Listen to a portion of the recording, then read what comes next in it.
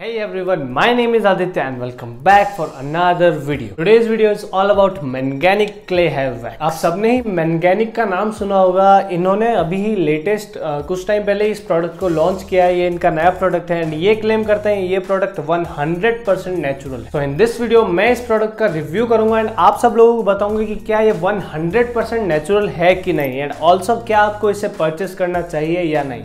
So without any further due let's get start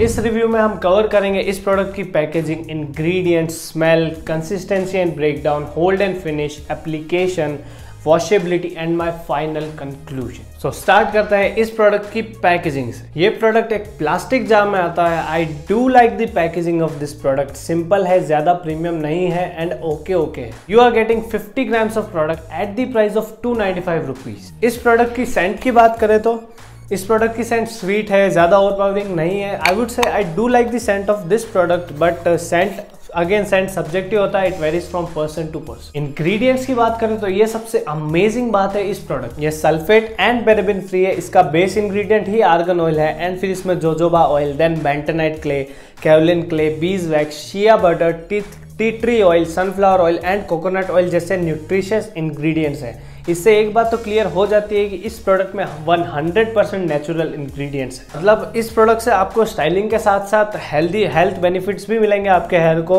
and ये 100% natural ingredients वाला product है जो मैंने इस रेंज में तो पहली बार ही देखा। कंसिस्टेंसी एंड ब्रेक डाउन की बात करते हो, जब आप जार को ओपन करते हो तो आपको डायरेक्ट प्रोडक्ट नहीं मिलता है। एक व्हाइट कलर की कवरिंग मिलती है एंड उसके बाद में आपको प्रोडक्ट मिलता है। ये प्रोडक्ट जार से हल्के से एफर्ट से बाहर आ जाता है, थोड़ा ऑयली फील होता है हैंड्स में। बिकॉज़ इसमें बहुत सारे ऑयल्स हैं एंड बिल्कुल क्ले जैसी कंसिस्टेंसी एंड ये इजीली हैंड्स में ब्रेक भी हो जाता है। So now that we have covered all of the basics let's move on to the application so I go head get my hair damp and we will take it from so guys am back with some damp hair and इस product की full strength देखने के लिए मैं अपने hair को बिना किसी प्री स्टाइलर के ब्लो ड्राई करूँगा।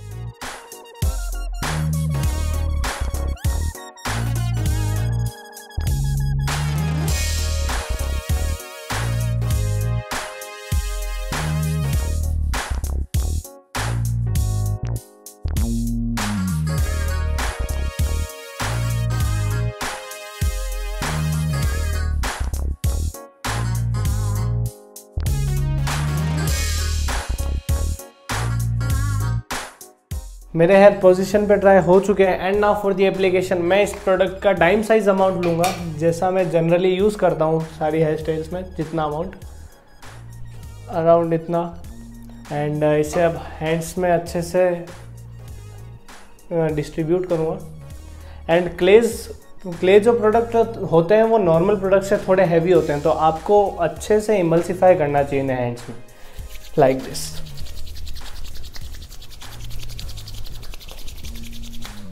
एंड जब वो बिल्कुल चला जाए, एकदम ट्रांसपेरेंट हो जाए तो इन्हें अप्लाई करना है। एंड अब मैं इसे अप्लाई करूँगा अपने रूट से टिप्स तक, आपको पता है।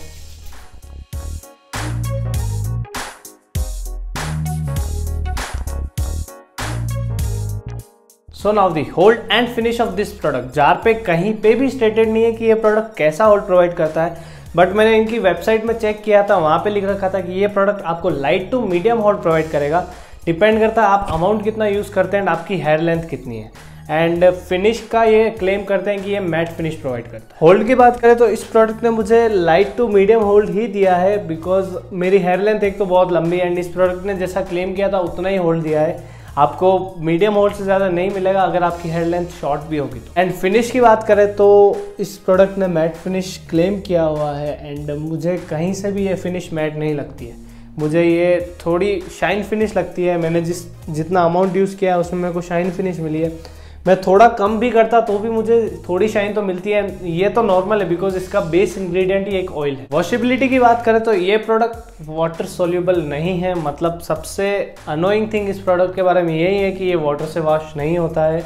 आपको शैम्पू यूज़ करना ही पड़ेगा। इस प्रोडक्ट को अपने हेयर से रिमूव करने so now the final conclusion क्या मैं इस प्रोडक्ट को रिकमेंड करूँगा? यस yes, मैं इस प्रोडक्ट को रिकमेंड करूँगा बिकॉज़ इसकी परफॉर्मेंस मुझे ओके ओके लगी है। सबसे बेस्ट पार्ट है इसके इंग्रेडिएंट्स 100% नेचुरल है और बहुत ही हेल्दी इंग्रेडिएंट्स हैं जो इस रेंज के प्रोडक्ट में देखने को नहीं मिलते हैं। ये क्ले प्रोडक्ट है ये टेक्सचर बहुत अच्छा प्रोवाइड करता है इसलिए मुझे ये पसंद है क्योंकि इसका इससे आपको टेक्सचर अच्छा मिलता है। एंड होल्ड भी ठीक ठीक मिलता है। जो ओनली जो डाउन साइड है वो ये है कि ये वाटर सोल्यूबल नहीं है एंड इसकी जो फिनिश है वो थोड़ी शाइन फिनिश है। बट वो शाइन फिनिश मेरे लिए नेगेटिव पॉइंट है, आप लोगों के लिए वो पॉजिटिव पॉइंट होगा बिकॉज़ आप में से बहुत से लोग शाइन फिनिश प्रेफर करते हैं मैट फिनिश के।